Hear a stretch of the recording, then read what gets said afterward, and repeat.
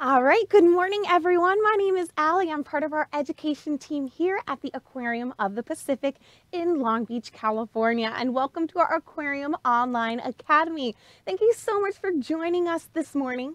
We are going to have some fun because we, oh, my mic fell off just a little bit here. We are going to have some fun and we are going to play a little bit of I Spy. Alrighty, now we do have some opportunities for you to as well.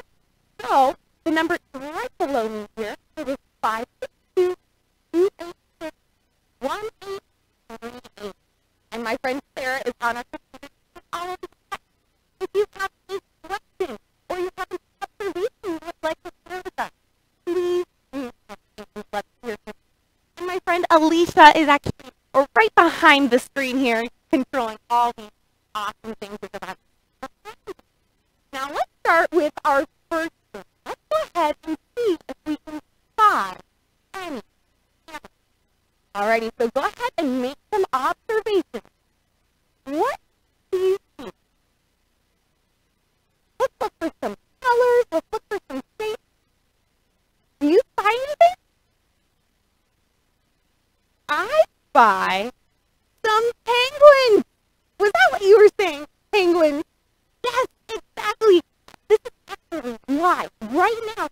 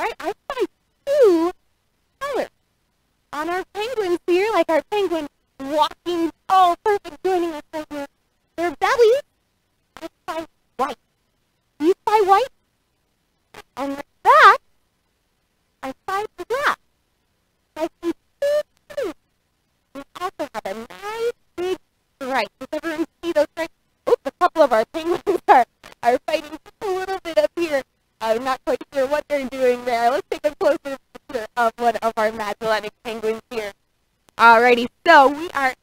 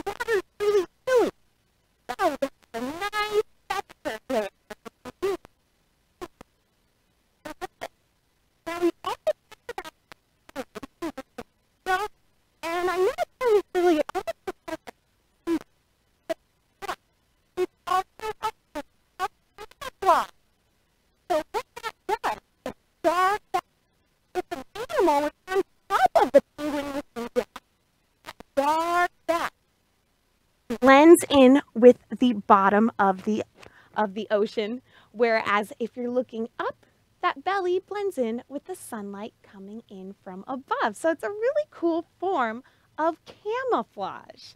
I gotta uh, think my mic is just a little muffled, so I hope that that uh, just adjustment helped a little bit there. Alrighty, I think we're ready to move on to our next animal. Oh, look at all these penguins here. That's a lot of penguins. all right, let's go ahead and move on to our next animal here. All right, take a moment and see what you can spy. Go ahead and make some observations.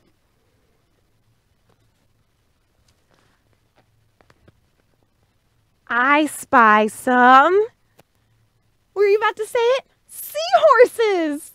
Do you see these seahorses right down here? These seahorses are camouflaged really well with their surroundings. So let's see how many seahorses we see down here. I see one behind here, two, three, four. Oh, look, one just poked up in the back over here. So there's several seahorses in here. They come out of almost looks like nowhere because they're so good at blending in. Now let's take a minute and think, well, why would an animal want to blend in? Hmm, how could that be helpful for them? Hmm, yeah, if they want to hide. Now, why would they want to hide? Maybe they're hiding from something that might want to eat them. Or maybe they're hiding from what they're trying to sneak up on. Oh, you can see a couple of our seahorses hiding in this brush you see here. They have great big strong tails that they use to wrap around all of those uh, corals and also all of that kelp that you might see in different habitats and they can hold on to those tails and kind of mimic or pretend to be all of those all of those different plants that live in the ocean. They have a really, really strong tail. And oh, here's another, another nice, nice picture of our seahorse here. In addition to their tail, another really cool adaptation that seahorses have is they have a really long snout. Does everyone see that snout on the very tip of our seahorse's head right here. Yeah, it's very, very cute. It's almost like a big straw or a big tube in the very front of their face where their nose would be. And this actually helps them to eat tiny, tiny little critters. They can eat tiny plankton that you almost can't see. Oh, here's a really good video of our seahorses moving around. And they have those nice long snouts that help them to kind of slurp up their food just like a little straw. Now, of course, they're pretty tiny, so they have tiny, tiny little mouths and they have tiny little pieces of food. You might also notice in this video here, do you see any fins? I spy some fins here. Yeah, those fins are moving, helping them to move along through the water column. So great observations there. You spied a lot of really cool animals. Now we're going to look at, oh my goodness, Miss Alicia put up one of my favorite animals in the world. And I want you to take a look at this. What do you spy in this picture?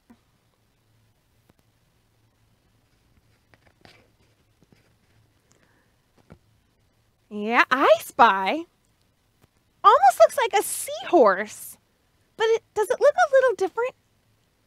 Yeah, this is called a sea dragon. I know, believe it or not, this is a sea dragon. This is called a weedy sea dragon.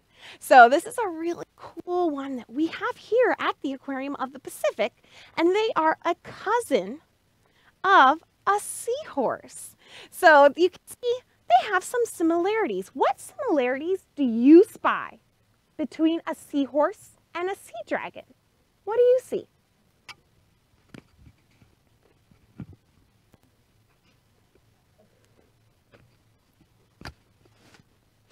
Yeah, I spy a nice long snout. I spy a nice long tail. But they have all of these appendages all over their bodies.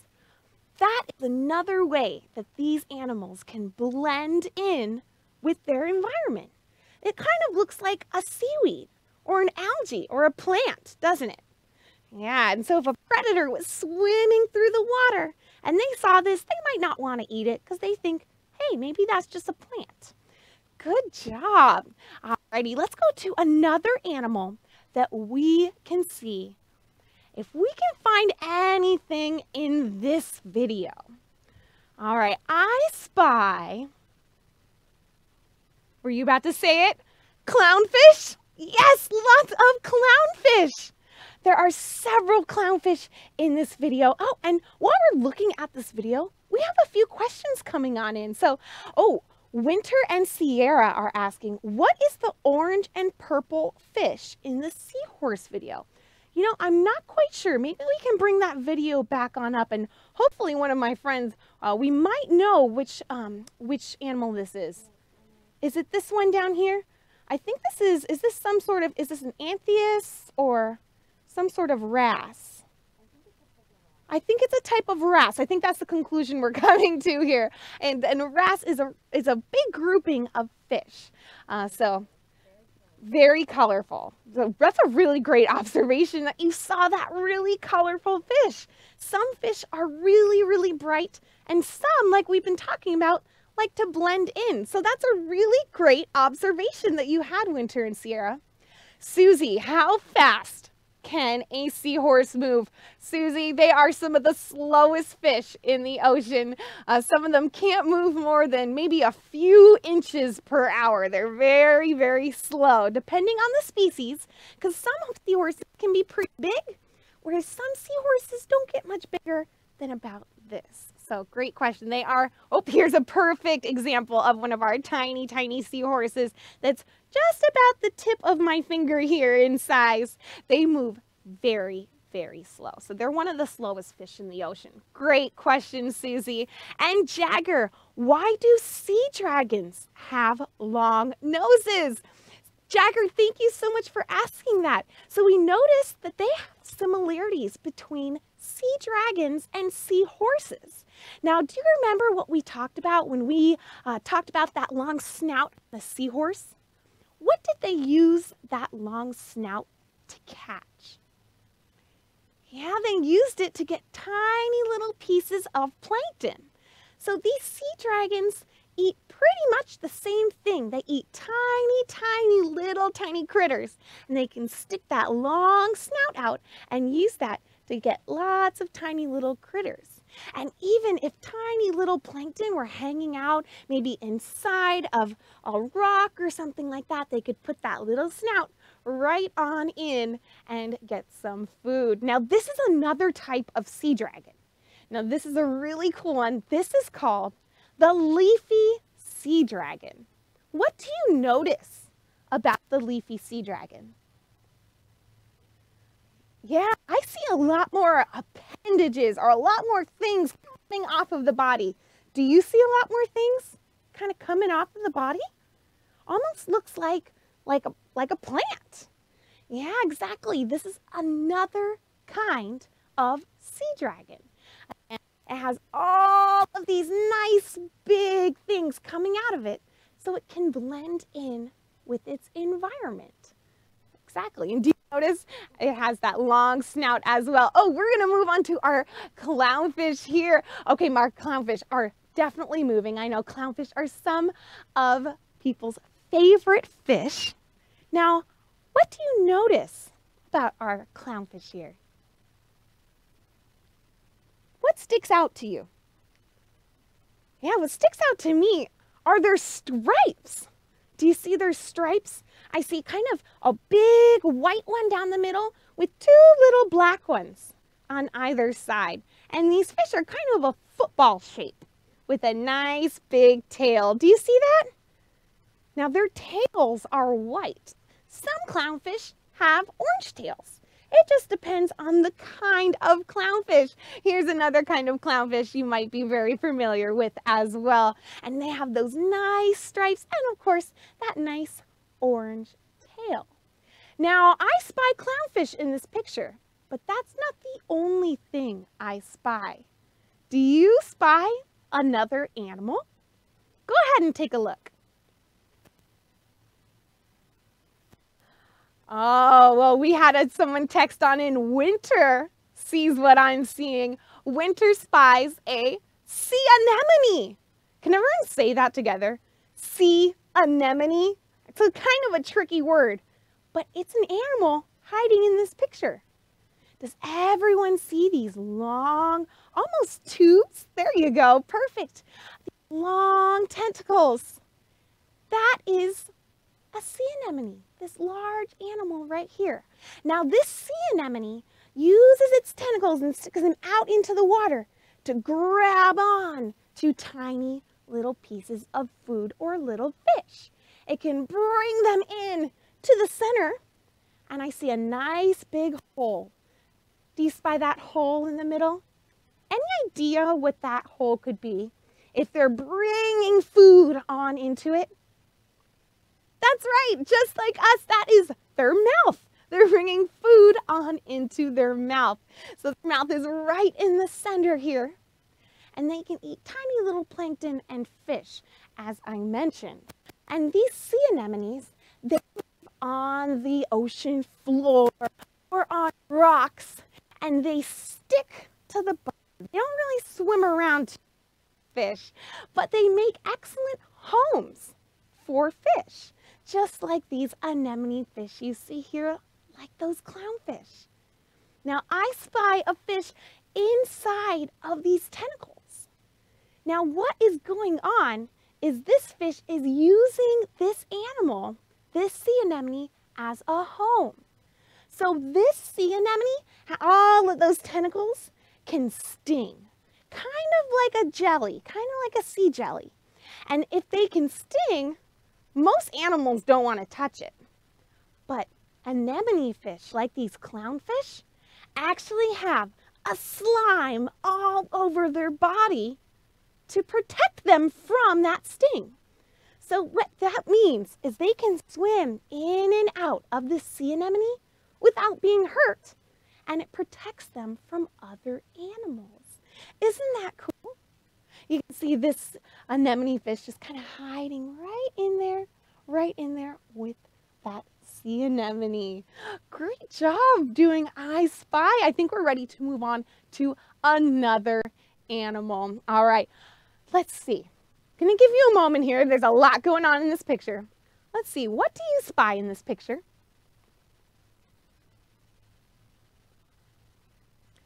I spy a lot going on.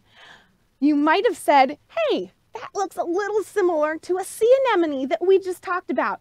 You are right. There are lots of sea anemones in here. I see, uh, let's see, one right here. This one's all closed up. Do you see? It kind of looks like a ball. Yeah, it has all of its tentacles kind of inside. So maybe it, it felt scared, but also maybe it is eating or, or this one up here that all of its tentacles are nice on out. While you're looking at this video here, Clara, how far can a seahorse see? Great question, Clara. Uh, they actually have great eyesight. Oh, here's a wonderful picture of our seahorse here. They can move each eye independently of each other. So I kind of think of it, um, maybe you've seen a chameleon before, how they can kind of move their eyes independent of each other. Pretty great that they can look out to see what's around them, to either avoid things eating them or, of course, uh, to find their food. Great question. And Sierra, oh, I love this question. Where is the anemone's heart and eyes? Great question, Sierra. I noticed that I didn't really see them either. So on our fish you see here, you can see their eyes pretty well, right? Do you spy their eyes on either side? And their heart is inside. But this anemone here, I don't really see any eyes, do you? No, they don't have eyes like us. So some animals are what we call simple animals and they don't have eyes. And guess what? They don't have a heart inside either. They don't even have blood. I know, pretty cool, isn't it? So they actually are very simple compared to us. They have other ways of uh, rotating things around their body. They have other ways of finding their food, uh, one of those which being those nice long tentacles coming on out. So great question. Not all animals have the same adaptations. Now, another animal that I spy in this picture here, besides our sea anemones, does anyone know which one I'm talking about? Oh, well, here's a, a green line coming right across.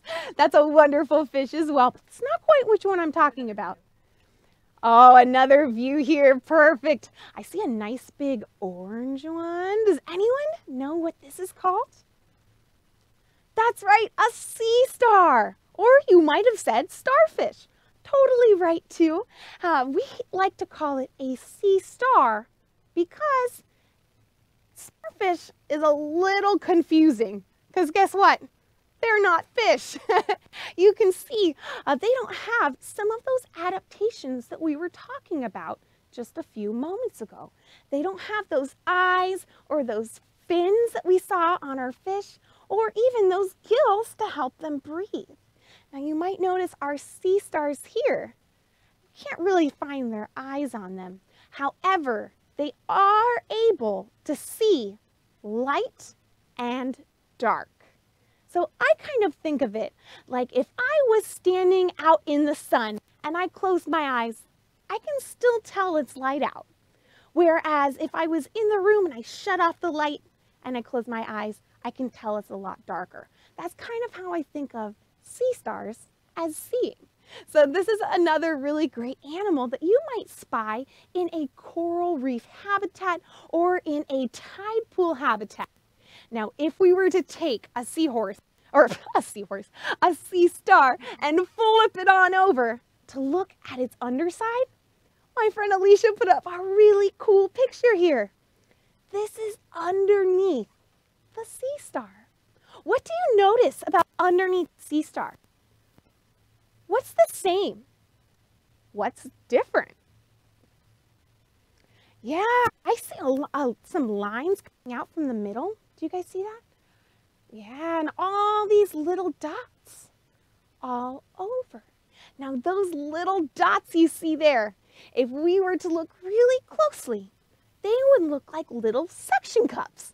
Little tiny tubes with little sticky things on the end. Now, what do you think they might be able to use those for? That's right, for moving around. Also, maybe to um, maybe to catch their food going across the sand, maybe opening up some shells. Yeah, that's a great observation. Now, while we're making more observations, our friend Sierra texted in, do anemones have feelings? Uh, Sarah, or Sierra, that's a, a little difficult to, to answer because we can't ask the sea anemone but they don't have a brain or anything like we do. So they're a lot more simple animals. So it's a really difficult question uh, to answer. Uh, they definitely react to different things, different foods, different touches, different animals. Uh, but do they have feelings like we do? It's a little tricky of a question because we can't ask them. so I love that you're thinking, hey, how are they similar to us? Uh, that's really great great way that you are thinking about. so we'll go back to our other picture here of our, our sea our sea star. There we go. Perfect. Just a moment ago. So underneath that sea star, you'll notice all those little tube feet that we were talking about. Now, all those tube feet help this animal to move, to eat, but also to stick on to things. Now, why in the world would you think they would want to be able to stick on to something, not just fall off really easily. Hmm, that's right. What if something came on and wanted to eat them? They could say, uh-uh, and stick onto that rock there and try their hardest to stick on. Or what if a really big wave came in and went shoo, and that sea star was like, I don't want to go for a ride right now. I want to stay home. So it's sticking on to that rock. That's a really great adaptation that this animal has. Now, it has a tummy as well. However, its stomach is right in the middle. So all of these lines pointing right to this little area here, that's where their stomach is. It's on the bottom of the sea star. What they do is walk around and they can expose their stomach, which means they can take their stomach out of their body Kind of silly, but they do that so they can eat and then bring it back in again. It's actually a really cool way that this animal eats. They bring their stomach out of their body. They, oh, my friend Alicia found a picture. Okay, this here, see that kind of gooey yellow stuff? That's their stomach.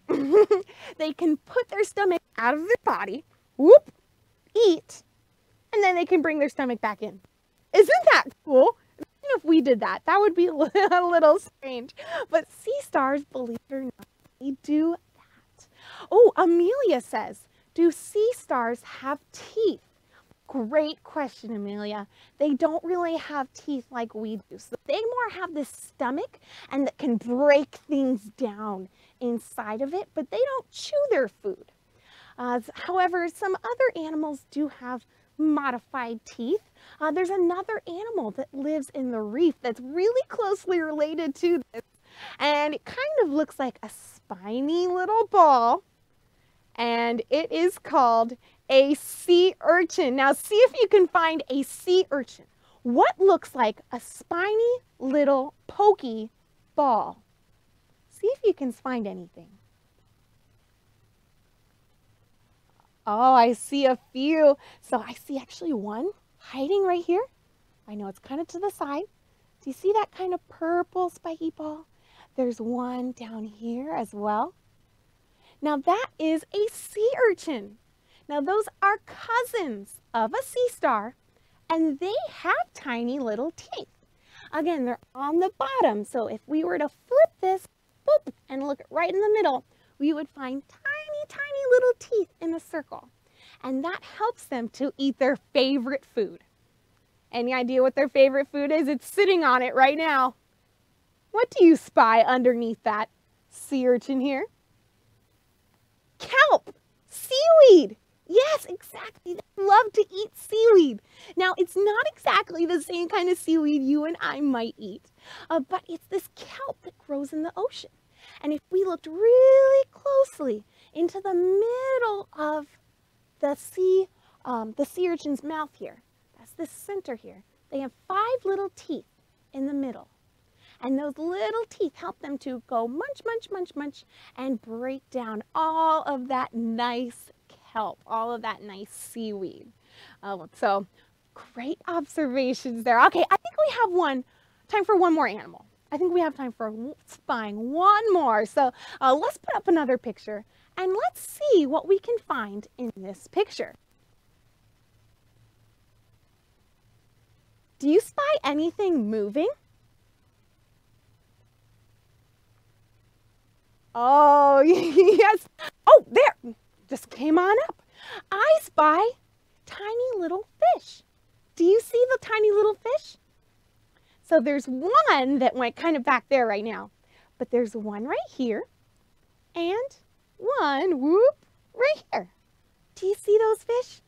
Now they're very cute, I know, but even their name is cute. They are called a lumpsucker. Isn't that hilarious? They are called a lumpsucker. They are cute little fish that kind of stick onto things, and they are very still most of the time. So sometimes you might not even see them. But if you look closely, they are definitely looking around. Here is a lumpsucker stuck onto some kelp. Do you see its eyes moving? Maybe it's playing I Spy with its friends. Who knows? You can see it kind of moving around. And if we spy really, really hard, we can see this lumpsucker, but there are others back here too. So they're all kind of hiding all over the place. And they're a really awesome fish that lives in pretty chilly water. Oh, here's another really great picture. Now they have a mouth right here, and sometimes you can see that mouth moving. And these fish are only about this big. So do you think they eat really big things or a little bit smaller? Probably a little bit smaller, right? Because they're pretty small themselves so they can eat small pieces of food in the water, but they spend a lot of their time resting on the bottom. You guys did a really great job here today exploring and playing I Spy with a variety of animals that we have here at the aquarium, like this adorable little lump sucker here. Just the cutest little fish. Uh, I encourage you to keep playing I Spy and see what other shapes and colors and observations you can make throughout the rest of your day. But thank you so much for joining us here for our Aquarium Online Academy from the Aquarium of the Pacific here in Long Beach. Have a wonderful day and hopefully we'll see you again.